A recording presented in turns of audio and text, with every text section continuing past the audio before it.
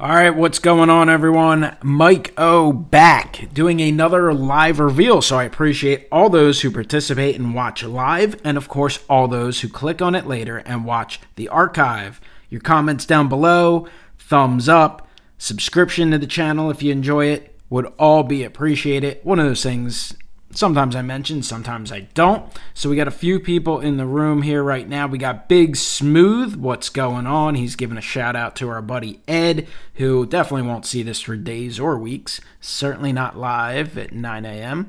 Uh, Jay Pylon, what's going on?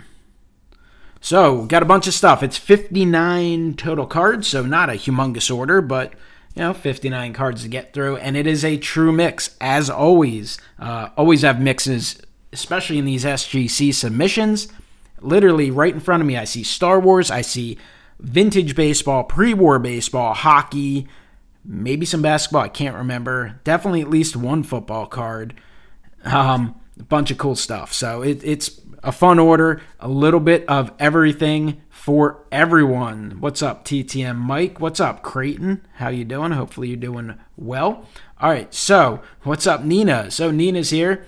So's Mike. Either way, we're gonna roll through this in the next 25 minutes. So I'll show off. Uh, I'll just get started. So first card is gonna be for Dustin Bellinger, and this is a 1950 a 1923 W572 Bill Southworth received an authentic for minimum size not met. And I know um, from talking to Dustin, that is what he was expecting, just an authentic. But really cool card there for Dustin Bellinger. And Lee, who is out in San Diego, it is bright and early for him. He has one card in this submission as well. And it is a 2022 Topps Tribute Manny Machado Stamp of Approval Relic Card, green, numbered 1 of 99. Manny Machado having a really good year, received an SGC 9. So the thicker cards can obviously be a little little more difficult. And especially when they have pieces of relics, you got the extra little cuts and such. So really nice card there for his San Diego Padres collection.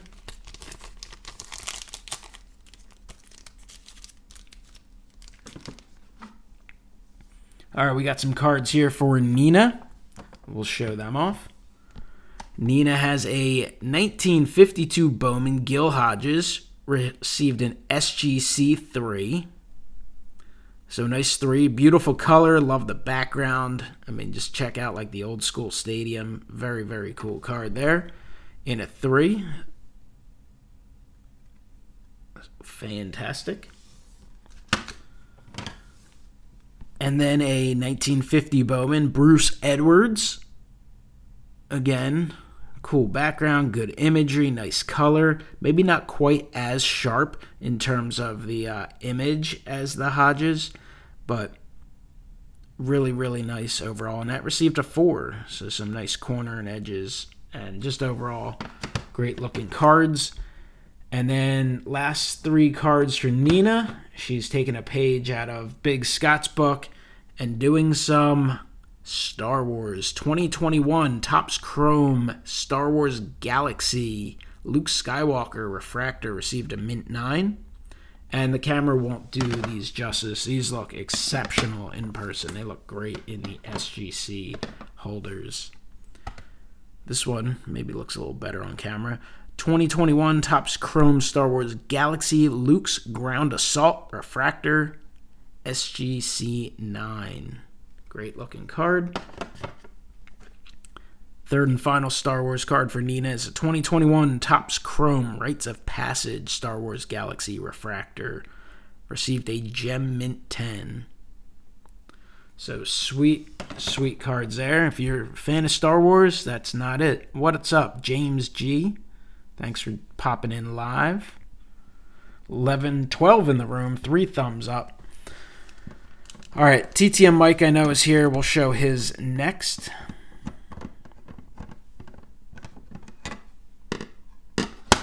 All right, we've got Dave Schultz, 2004 5 Upper Deck Legendary Signatures. Dave Schultz autographed. Received an SGC 9.5 and a 10 on the auto grade. What's up, Charlie Davis?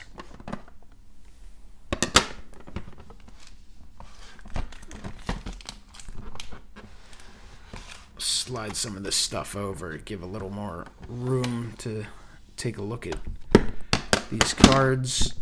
All right, another Flyers auto for TTM Mike. 2006 7 Parkhurst Reggie Leach autograph. Man, the hockey autographs always look great. The blue signature with the white ice background just makes those pop. Received a dual 10, a 10 on the card, 10 on the auto. So very sweet. Reggie Leach. Sports Illustrated for Kids 1994, Hakeem Olajuwon received a six. These are always tough cards, obviously perforated and hand kind of not cut but pulled apart. Always subject, especially for how young the one who did it, always subjected to uh, possible tears and such. But they're really cool. I uh, enjoy picking some of those up for the collection from time to time as well. 2022 Donruss UFC Amanda Nunes Octagon Marvels Holo Orange Laser received a Gem Mint 10. So a Gem 10. Check out TTM Mike's channel. I know he'll show these off again. Check him out again. Give him some support. 2022 Bowman Chrome Prospects Julio Rodriguez very uh, rich individual after that new contract and nine and a half mint plus. But hell of a rookie season there for Julio. And final card for Mike is a 1979 Topps Rushing Leaders featuring two guys who were fairly good Walter Payton, Earl Campbell. A little more than fairly good. Eight and a half. So an eight and a half. So that's a very cool card there. Two all time great Hall of Famers who both led the league in rushing yards that year. Man, look how few guys had a thousand yards. Then again, I guess it's getting to that point again now because it's become such a pass heavy league. But for a while, it was like 30 guys were going crazy. But man, that is a cool, cool card. So congrats on that one, TTM Mike. All right, three more groups to show. Let's show Big Smooth. He uh, he had a couple rejections as he usually does. Um, Scott's got a rejection, I got a couple. So SGC uh, did not grade your Viagra card. And they actually give reasons now. SGC does not grade. At least that's what they say. So that was denied other stuff we got here, we got a 2019 Top Trumps limited editions Kylie Jenner celebrities, nine mint. So mint nine on the Kylie Jenner. Got a 2016 decision 2016 Vladimir Putin influencers gem mint 10. So a gem 10 on the Vladimir Putin. Got a 1985 7 Eleven Slurpee Rush Rockstar Discs. Received a Mint 9. Mint 9 on that.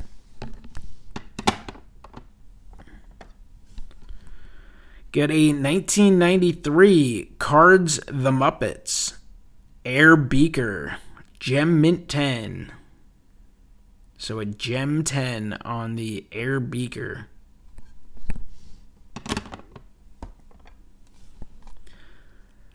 Two thousand eight Top Trumps Star Wars. Tano from the Clone Wars received a gem mint 10. Smooth is a uh, expert on the oddball rookie cards. 2008 Top Trumps Star Wars Cad Bane Clone Wars 9.5 Mint Plus. The Clown is back. 1983-84 play Ronald McDonald 8.5 near mint to mint plus. 8.5 on the Ronald McDonald. which I know one of those moved at the uh, at the National. It was a big hit at the uh, trade nights at the National. 2014 Top Trumps Breaking Bad Gustavo Fring from the card game Mint 9. Mint 9 on the Gus Fring. Star of Breaking Bad and, of course, Better Call Saul. Got a 1991 Premier Rap Pack.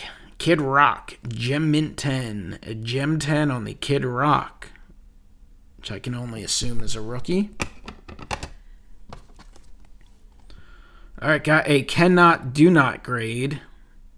So not an SGC doesn't grade, a cannot did not grade, do not grade on the uh, what's her name, the J.K. Rowling. So that one was denied. And we've got the 1985 Rosa Parks Life magazine remembers. It can be hard to show off just because of the size of the slab. But Mint 9 on the Rosa Parks.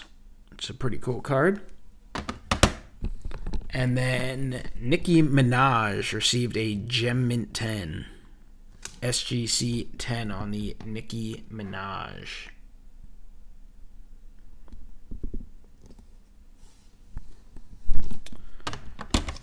So that's the order there for Big Smooth.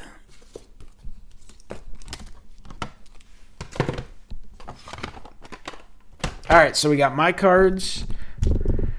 And we got Big Scott 35. I'll save mine for last. A lot of sweet stuff in there, so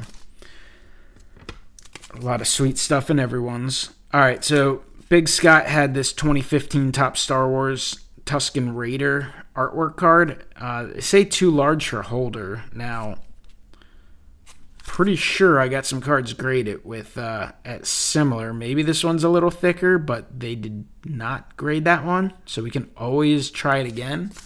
Um, maybe they're just out of big holders. Who knows? But that was because it was too large. All right, so Scott's got a mix of everything. He's got some baseball, Batman, Star Wars, hockey, so it might kind of go back and forth. I didn't sort them out. All right, 2021 22 Upper Deck Sidney Crosby Portraits, Gem Mint 10. Nineteen sixty six Topps Batman Sinister Smile received a SGC three. 1966 Topps Batman Fiery Encounter. A three. You got the Penguin and Robin there in an SGC three. All right, 2022 Topps Living Steven Kwan rookie for the Cleveland Guardians, Gem Mint 10, SGC Gem 10 on the Kwan. 1979 Topps Comics, Ron LeFlore in A2.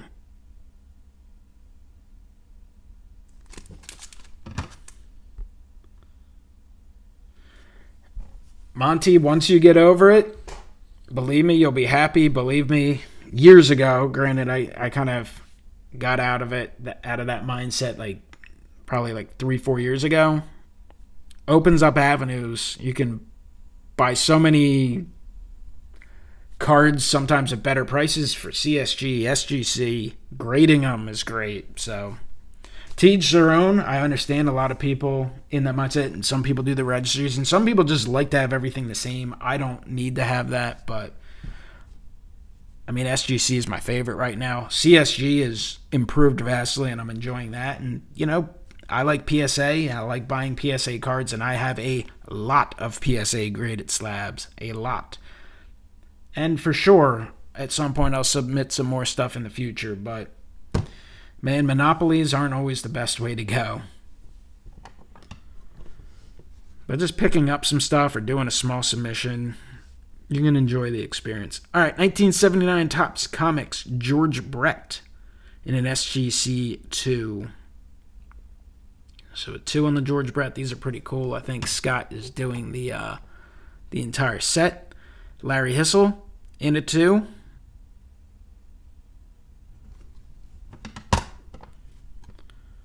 Got a, another 66 Topps Batman, the Riddler, in a 1.5.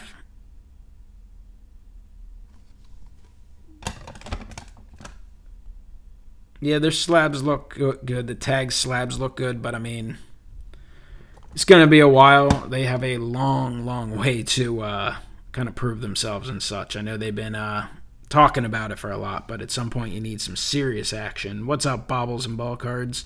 2021 Topps Star Wars Julie Doolin Bounty Hunters autograph. Mint 9 Auto 10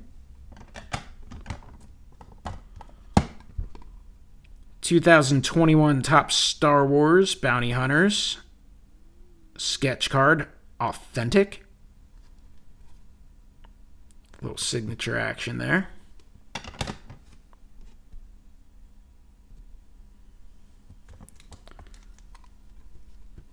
1966 Topps the Batman, Face of the Joker, SGC 3.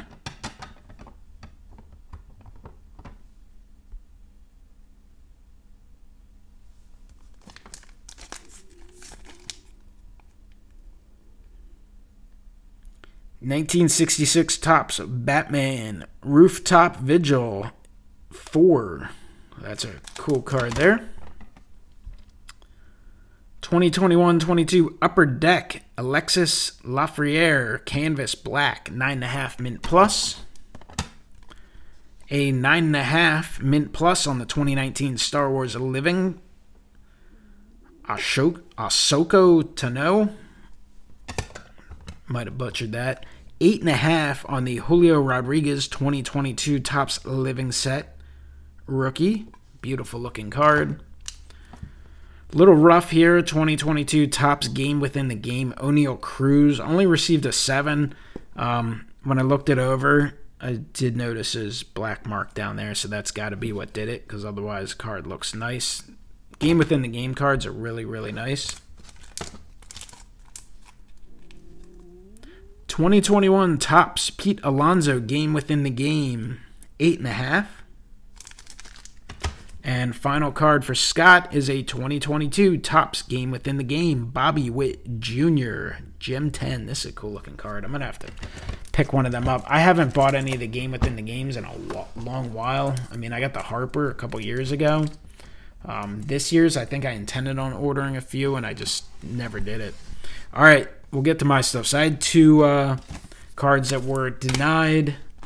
This sweet uh, Richie Ashburn stamp. I'll probably try CSG. I don't think they'll grade it either. Um, and then after that, it'll just have to go into a holder for the collection. But SGC does not grade. Just thought it would look cool in the slab. One of those, I didn't really care what it graded. And then I know PSA has graded these in the past. The uh, 1978 79 pen emblems. There's a bunch of Pete Roses on eBay. Um, but they said they didn't grade them again. Just thought it'd be cool to have an example in a uh, holder. Didn't really care what it graded for. And there's some stuff in here that I did not care whatsoever what it graded for, and some stuff I did care. So I sent a. This is basically a batch of Aaron Judges that are mostly going to be put up for sale, even though they're cool and I'd like to have them.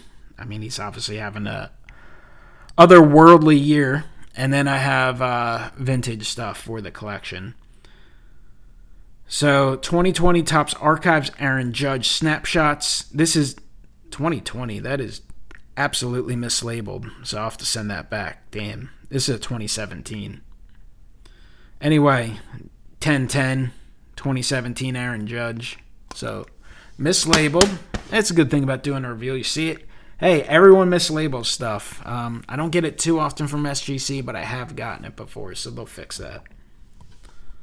But yeah, that is a Judge rookie. It's not labeled rookie card, but it is a rookie. All right, 2017 Topps Chrome Aaron Judge rookie autograph, mint 9 and a 10 on the auto. It's basically what I expected. Of course, I was hoping, you know, hoping against hope you get the 9.5, but it deserved a 9. It got a 9. And then I have the blue refractor numbered 45 of 150 from 2017 Topps Chrome. Rookie auto, 9 mint, 10 on the auto. Again, same thing. Uh, generally speaking, one of these, I can't remember offhand. I mean, I sent these in. One of these, it might have been this one, had some white on a corner. The other one had some slight surface issues. And the surface issues, if you're sitting there looking like that, of course you can see them. But otherwise, like in a holder, like you're never going to see them. Um, they're not going to stand out whatsoever. But of course, you know, it is what it is. Um, they deserve to be docked for that, but those are the types of issues with cards that aren't like the biggest deal, in my opinion. 2017 Topps Chrome update. Definitely happy with a nine and a half on this. It was one of one of those I figured uh, would bounce between a nine and nine and a half. Not quite gem mint, but 2017 Topps Chrome update. Aaron Judge rookie debut. Red refractor serial numbered seven of 25. So sweet card. One of those that obviously be cool to keep, but I'll probably pop that up on eBay at a very, very lofty price. So we'll see if it moves or not or how much interest it gets. But that's a that's a cool card for sure.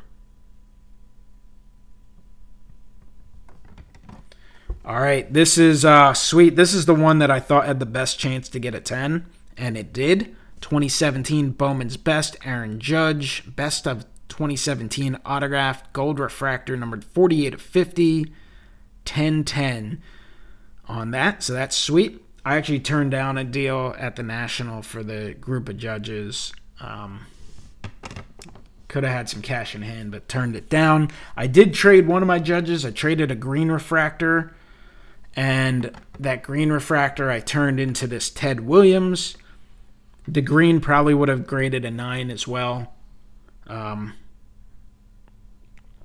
this is a 1948 49 Leaf Gum. Ted Williams, one and a half. Beautiful card. I mean, it looks amazing.